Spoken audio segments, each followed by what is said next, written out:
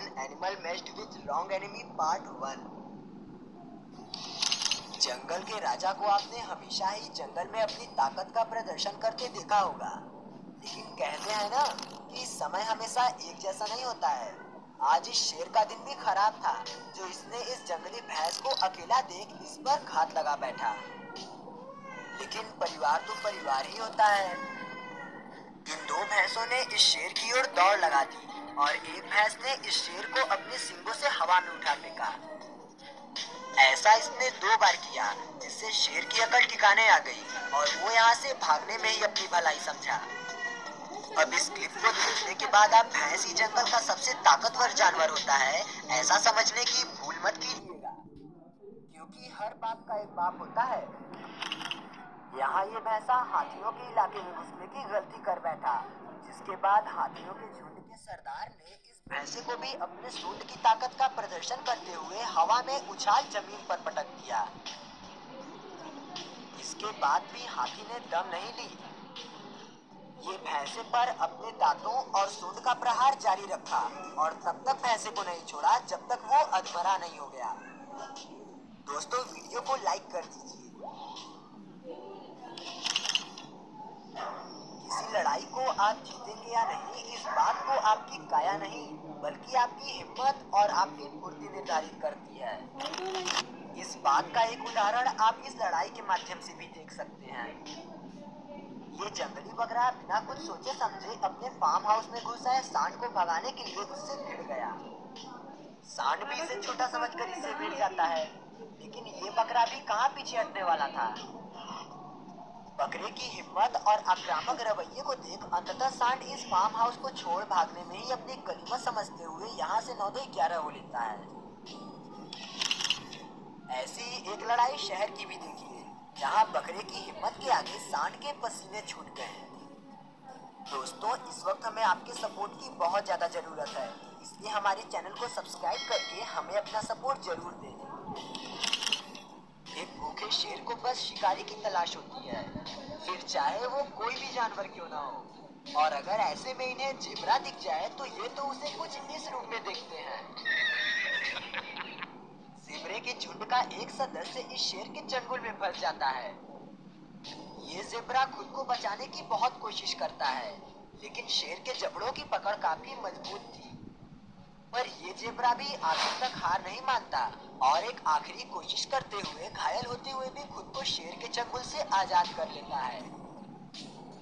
चलिए, अब जब जंगल के राजा की बात चली रही है तो इनकी कुछ और क्लिप्स भी देख ही लेते हैं। यहाँ इस चीते की मती मारी गई थी, जो ये लंगूर और खुद की काबिलियत को समझने में नासमझी कर बैठा। इसे इतनी भी समझ नहीं थी कि ये अपने शिकार को जिस जगह झपटना चाहता है, वो उसका पैदाइशी डेरा है। और उसके लिए इस चीते को चकमा देना कोई बड़ी बात नहीं होगी।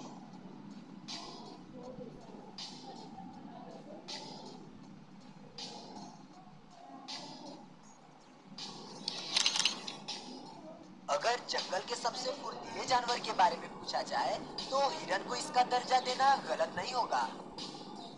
और अगर फुर्ती के साथ थोड़ी सी अकल भी लगा दी जाए, तब तो फिर बड़े से बड़े दुश्मन को भी मात दिया जा सकता है।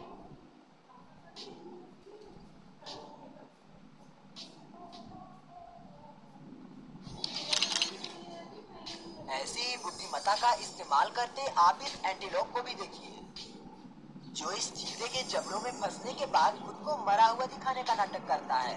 और जब चीता इसे मरा हुआ समझकर इसे छोड़ता है, ये झटपट उठ खड़ा हो वहाँ से भाग जाता है।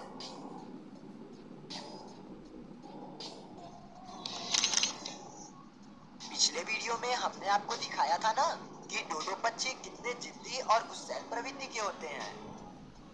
यहाँ भी आप वही देखेंगे। इस डोडो के आक्रामक रवैये को देख ये गोरिल्ला भी इनके इलाके से बाहर भाग खड़ा होता है।